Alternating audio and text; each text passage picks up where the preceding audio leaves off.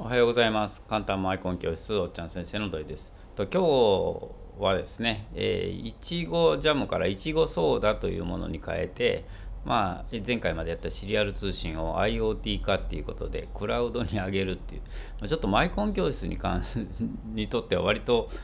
内容的には高度な話になるのかなと思ってます。でまず私自身も初めて使うので、まあ、あとちょっと検索をしてですね紹介サイトを見つけたのでそれを見て今日は予習っていう感じになるかと思います。と僕にもわかるいちごジャム用マイコンボードということで、えーこのページを使わせていただこうと思ってます。でまあ、これは幸い手元にあるので、えこれでいきましょうということで、桜 IO っていうサービスも使います。で、この桜 IO っていうサービスは結構あの古く、古くっていうとあれかもしれませんが、かなり日本の中の IoT のクラウドサーバーとしては結構老舗で、桜インターネットさんが結構早くからサービスを提供していて、私はちょっと別のおシグフォックスっていうあ IoT を使った時に、まあ、それで桜井王さんをこれを使ったことあるのでここの登録はあのある種私自身は住んでいるような状況です。で、えー外観は割といちごジャムに似ているんですが色がちょっと青っぽい緑になっています。で、まあ、画面用のアナログビデオ出力とキーボードと電源っていうのは同じでただ細かなところが割と変わっているような気がするのとここにちょっと変わったボタンがついています。で、えー桜用モジュールいちごジャムへ I2C 接続されていてモバイル回線の LTE、まあ、いわゆるガラケーとか言われた時代のと通信のところですよね、えーフォーマとかが使っていたところかな、まあ、ちょっとそのあたりは いい加減なこと言ってるかもしれませんが今は使わなくなったモバイル回線を使って IoT をしようということで、えーこの実験をやってみたいと。ずっとやってみたかったんですが、まあ、いちごジャム自身も素人だったしこの桜井さんもまあ登録してデータを1回上げたところぐらいで使い込んでる気はしなかったのでなかなか準備が必要だろうと思ってたんですが、まあ、この幸いあのいちごジャムの本を2冊読んでいちごジャム自身の使い方はそこそこ分かったような気がするのでこのエリアに入っていこうということになります。でソフトバンクの LET 回線に接続可能なモジュールですと。で、桜インターネットさんのクラウドサービスで接続できると。で、えー LTD の月額は60円。私これいつも払ってて税別なので、え実際には66円毎月請求が来てて毎月払ってます。毎月1万回分の通信ポイントが月額に含まれていて、これはと1時間あたり13回4.4分ごとだから5分に1回飛ばせればいやとまあ1ヶ月間66円で通信できるということですよねだから時間間隔は5分ぐらいにしとけばいいということで、まあ、ドアセンサーって言ったように何かの刺激があった時に動くとか温度センサー今やろうとしてはこれですけどもこれを定期的に取っておくとかいうのができると思います。と月1万回に満たなかった余剰ポイントは3ヶ月間有有効ということは私のは3ヶ月分積み残してるみたいですね。えーポイントが不足した場合は2万通信ごとに100円ですのでそんなに急には来ないってことですね。66円で使いすぎちゃった次のタイミングは2万回分が追加されて100円だっていうことなので次請求来たとしても160円の176円の請求になるということですかね。で、えーこういうユニットで私のもついています。で、えー最新版は SIM カード不要ってなってますね。アンテナがついていて、ここがアンテナの端子ですね。私のもアンテナがついていますし、SIM カードがついていないかもしれないですね。私のも最新版ということで、ここの SIM カードを入れる。このスロットはついてません。で、桜井用モジュールで、えーこの辺りはかなり専門的なことが書いてありますね。えーインターネットはじめかうんと国内企業も関わっていますということで太陽誘電さんが会社で ZIP プ。この辺りはハードウェアの話ですかね。でと現状これがあってこれもあってということで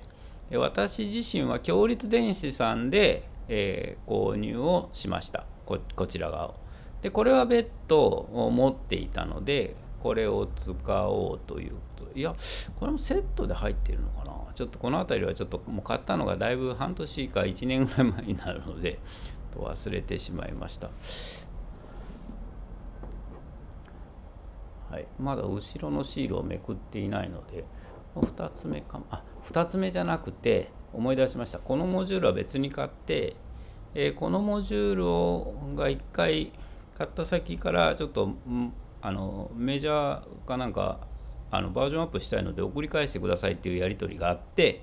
え、そうか桜 IO さんとやり取りがあって、え、古い方のやつを一旦返し返して新しくなって送り返してきてもらってまだ登録をし直してないというような状況です。思い出してきました。いちごジャムのファームウェアベーシック1.14でえー、とベータの1.24以上ですね。今確か普通に動かしても1.4ぐらいなので、まあ、これはちょっと最初確認して古いいちごジャムをお持ちの方はファームウェアの更新をしなきゃいけないということですね。で、モジュールの登録、これがだから、コンソール、このシステム自体のはありますが、モジュール自身の登録が私できていないっていうことだと思いますね。えー、モジュール、クレジットカード、一回ちょっとこれをクリックしてどんなサイトか見てみたいと思います。はい。ああ認証の期限が切れました。再度ログインしてください。ということですね。この辺り、アカウント自身がいるのかもしれません。はい、ちょっとこの辺りは、まあ、今日は予習なので、まあ、こういうサイトにも行かなきゃいけないというので、登録をして、登録すると使えるようになって、電源を入れるだけで LET 接続をして、あとはデータ送信コマンドですか。と、コマンドいちごジャムの中のベーシックコマンドとして入ってるんですね。iot.out コマンド黄色いちごジャムへ入力すると0から65535までのデータを送信することができますと。で、えー、ボタン端子の入力電圧に応じた数字を送るっていうこともできると。うんアナログ値も0から1023に変えて送ることができるんですね。こういうコマンドを持っていて、チャンネルアウト命令ではチャンネル1が用いられてデータが上がっていきますよと。で、ログインしたときにサービスで、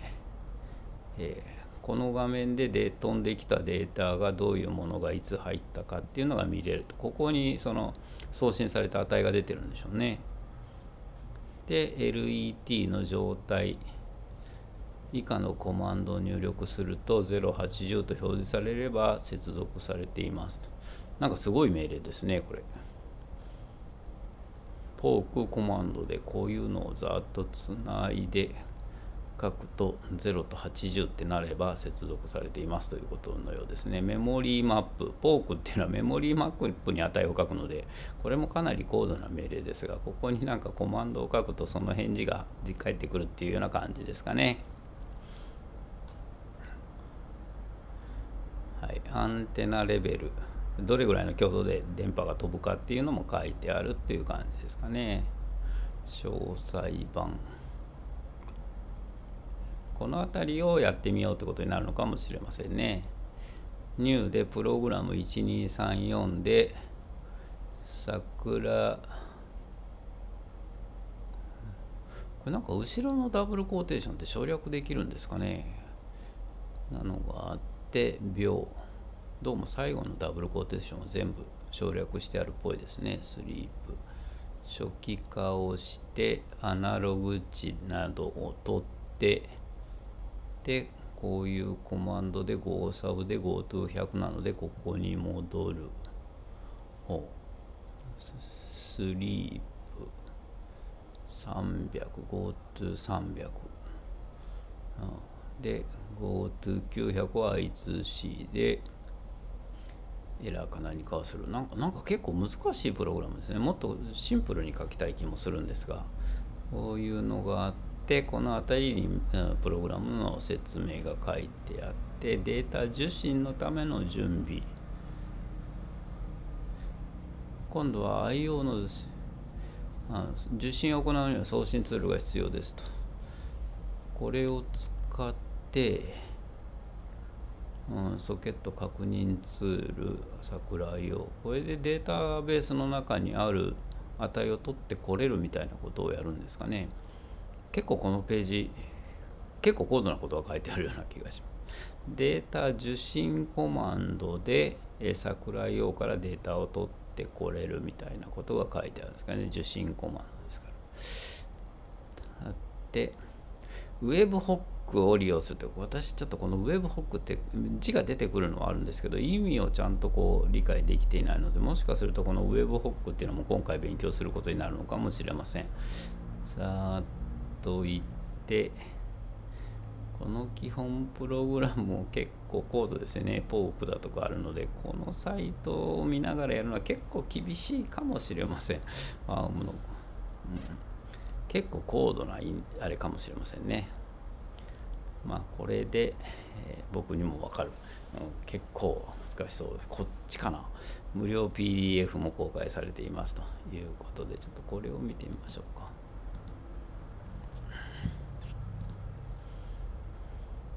PDF ダウンロード版。あはは結構図入りで詳しく書いてくれてあるみたいですね。PDF ダウンロード。はい。な感じで。ああもしかすると今のよく読んでないです。もしかすると YouTube なんかで流すとまずいかもしれないので今の表紙だけにしておきましょう。ページはめくらずということで、えー、いろんなことがでまあいろんな情報ここにはありそうな気がしています。はい。で関連のページなところですね。いちごジャム、まあ、ここも非常に有料なデータが残っていそうなのでここをちょっと参考にしながらやっていきたいなと思っています。はい、よいしょ。今日はなんかこ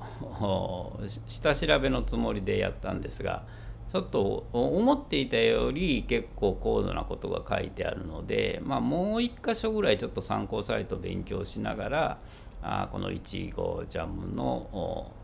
いちごジャムソーダですかを使っていきたいと思っています。なんか今週はずっといちごジャムソーダといちごジャムのシリーズになりそうで、えー、ゆっくりお付き合いをいただきます。もっとプログラムが出てきてガチャガチャこう通信するっていうのはちょちょっと準備させてください。多分いきなり動画撮っても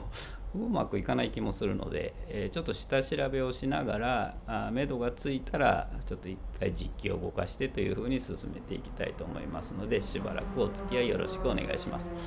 はい、今日もご視聴ありがとうございました。このチャンネルでは毎朝朝6時にマイコン関係の説明動画を公開しています。もしよかったらですね、チャンネル登録していただいて、えー、毎朝お付き合いいただければと思います。今日もご視聴ありがとうございました。